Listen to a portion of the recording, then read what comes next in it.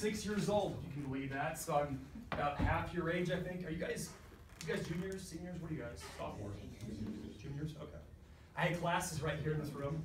I took Spanish in that room next door. The desks were arranged a little differently, but I usually would have sat in what would have been like these two desks or like your two desks. So um, it's really fun to come back here. Um, here's the thing. I found out two days ago that a friend of mine um, from college passed away. He actually died two years ago, and I didn't even know about it. And what it makes me start thinking about is how I'm not the kid that I used to be. I still think of myself as being your age. Um, your teacher tells me that you guys are thinking about growing up. And I'm here to tell you, I think that's a bad idea. I think that you guys should stay kids your entire lives. When I was little, there was a movie called Hook. And there was this line in it where Tinkerbell goes and finds Peter Pan, and she tells him, I can track you anywhere, because she knows the way that he smells. And when he asks her what that smells like, she says, like someone who's ridden the back of the wind, like somebody who's had a hundred fun summers of chasing pirates and sleeping in trees. This is sort of that way that I think about what life should look like. I want you guys to spend your time having adventures and doing something that's meaningful. And I'm pretty lucky because I got to do some of that. Um, I got started late. I didn't do that when I was your age a lot. I typically didn't know where I was going when I was young. My wife announced on the first day of the first grade that she was going to be an American astronaut. I didn't know what I was going to be.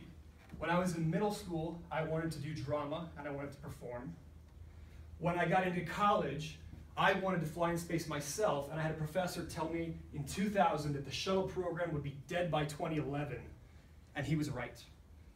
I remember the last flight going up. So he talked me out of doing that. Um, later, I've had other interests, but essentially, I got frustrated that people would talk me out of doing the things that I wanted to do with my life. This is my life. Why should anybody have influence over me and what I want to do? So while I'm in my 20s, I become a climber. I've climbed in about 25 countries. And I was in India, where some of the largest mountains of the world are Mount Kanchenjunga, right by K2 and Everest. And in a hotel room, I saw all these cabbies park their cars one night in a parking lot, and they slept there. And I thought, how strange that you could be employed your entire life and be homeless your entire life. Because in America, one of those two things is going to give, right? We don't have that class of people over here. So I come back and I say to myself, I got to make changes. Now I'm a shy kid, and I said to myself, I'd rather be dead than keep not doing the things that I want to do with my life. One wrong turn, I run for office. Two wrong turns, I get elected. I'm a two-time member of the House of Representatives. I am a senator right now. I sit on some of the most powerful committees like Appropriations, Ways and Means, Joint Committee for Capital Review, Budget Debt, Federalism, and Fiscal Mandates. It's been a good run. I enjoy myself at the Capitol. But the best part of my job is getting back to places like this and giving you guys a little bit of insight. I didn't have the chance to speak candidly with people who had gotten to places and done some things, and I wanted you to have that opportunity. So for me, I'm thrilled to be here. Like I said, I'm one of yours, and I'm hoping that when you guys leave here today, you will say to yourself, if I ever get asked to come back to this high school, I would do it. And you too can tell stories about the rooms that you sat in, the desks that you sat in, the classes you took, and some of your friends. Make sense? So, what would you guys like to talk about? You have your whole lives ahead of you. We can hit government, we can hit history. Where would you like to begin?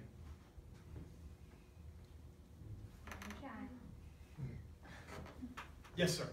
Senator Sherwood, I'm wondering, what do you believe is the most pressing political issue in Arizona right now? Well, there's two answers to that. The first one would be like, probably something like, you know, money, funding for education, right? How do we actually do commerce or run government? But I would say that that's sort of like within the government side uh, of the answers. Let me give you an alternative answer. I think the way that people consume media and the way that people have public discourse and the way that you all talk with each other about politics, that's more pressing. Because if you don't assemble the right people in government, then I can assure you you will never get something good from government. So to me, the place where you address that, that question, that's on your side of the equation, as voters, right? You guys are gonna be voting soon, and you'll be voting your whole lives, I hope. Statistically speaking, most of you will not start voting until you're in your late 20s, early mid 30s. I hope that you will be outliers and make it a point to not be those people. Additionally, as voters, I hope that you will be outliers and be the informed kind. The ones that go all the way down the ballot, the ones that do all your homework on whatever it is. Do you guys know, do you plan on being Democrats? Do you plan on being Republicans? Do you have any thoughts on where your political ideology would lay? No? Wait. I'm gonna take a vote right now. to. Everyone who wants to be a Democrat, raise your hand. Not high enough, people, all the way up. Thank you, put your hands down. Republicans, raise your hands. Thank you, hands down. Independents, raise your hands. Thank you. Okay, so, I mean, that's pretty normal, right? A, a mixed bag of answers. As an elected official, my enemy is not the Republican Party, as I am a Democrat. My enemy is the person who went into politics to make their own uninformed decision as quickly as possible.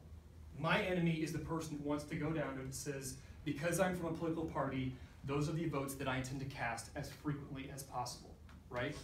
I'm gonna give you the courtesy of letting you talk me into your idea as long as it holds merit. I hope that you will give me that same courtesy. Do you think that we always have that though in politics? Not in our head, no, no, no. Why not? Because a lot of people are informed and they're kind of just like, my opinion's the right opinion. That's right. That's right. Let me ask you guys this. Okay, you guys become elected officers or elected officials, and something that you actually campaigned for or against comes up in your official capacity. You then become an expert as you are now elected. Now you're studying things differently. You have staff, you have people help you wade through the issues. And you decide, I might have been wrong on that issue. It's coming up for a vote. Okay? And you are convinced that this bill will take your constituents off the cliff. Maybe they're going to lose health care, maybe they're going to lose education, maybe they're going to lose jobs, maybe they're going to security of some kind.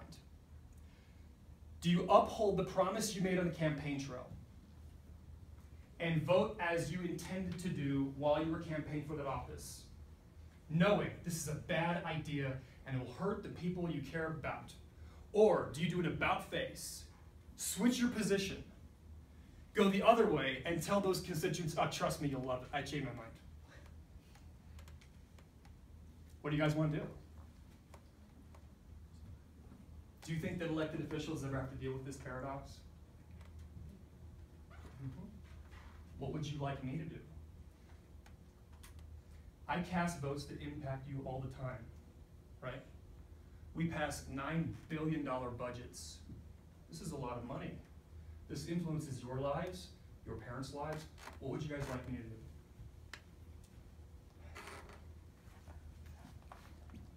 Hmm?